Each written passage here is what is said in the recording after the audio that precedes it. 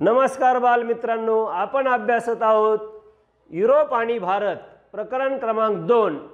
इयत्ता आठवी इतिहासामध्ये आधुनिक भारताचा इतिहास अभ्यासताना आपल्याला त्या ठिकाणी युरोपमध्ये घडणाऱ्या घटनांचा भारतावर काय पडसाद उमटत होते याचा अभ्यास करणं अनिवार्य आहे.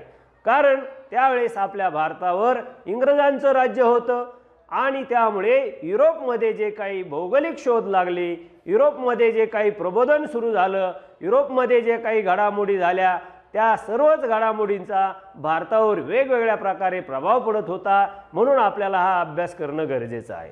तर बालमित्रांनो या प्रबोधन युगामध्ये लिओनार्दो द विंची हे प्रबोधन काळातील एक अष्टपैलू व्यक्तिमत्व होते.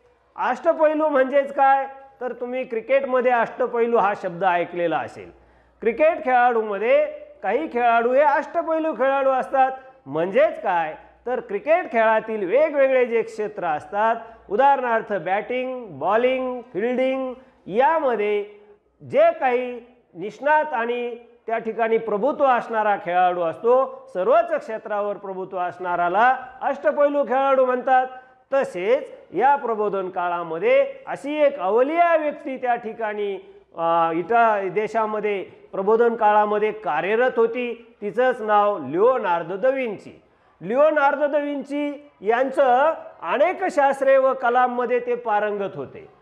अनेक प्रकारचे शास्त्र अनेक प्रकारच्या कला यामध्ये पारंगत असणे म्हणजे काय?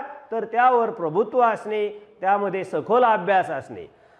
चिल शिल्पकला स्थापत्यकला गणित अभियांत्रिकी संगीत खगोलशास्त्र इत्यादी विविध विषयावर लिओनार्दो द विंची यांचं प्रभुत्व होतं. प्रभुत्व म्हणजेच वर्चस्व. अभ्यासामध्ये ते वर्चस्व होतं. त्यांनी वेगवेगळे संशोधन केलं.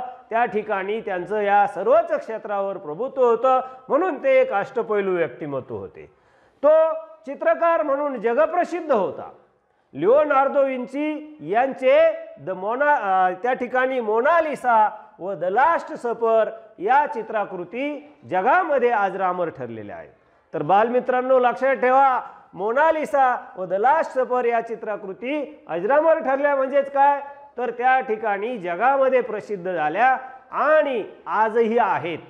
मोनालिसा हे एक स्त्रीचं चित्र त्या ठिकाणी लिओनार्दो द विंचीने काढलेलं आहे. तर या चित्राकडे बघून आजही त्या ठिकाणी त्या चित्रातील त्या स्त्रीच्या चेहऱ्यावरील रहस्य त्या ठिकाणी कोणालाही उलगडता येत नाही. अशा प्रकारे हे अजरामर चित्र त्या ठिकाणी लिओनार्दो दविंची यांनी काढलेलं आहे. अशा प्रकारच्या अनेक चित्राकृती त्यांच्या अजरामर ठरलेल्या आहेत. अशी ही अष्टपैलू व्यक्तिमत्व असलेली व्यक्ती त्या ठिकाणी प्रबोधन काळामध्ये यांचा जगामध्ये व भारतामध्ये त्या ठिकाणी प्रबोधन काळामध्ये या व्यक्तीचा प्रभाव पडलेला आहे हे आपण विसरू शकत नाही.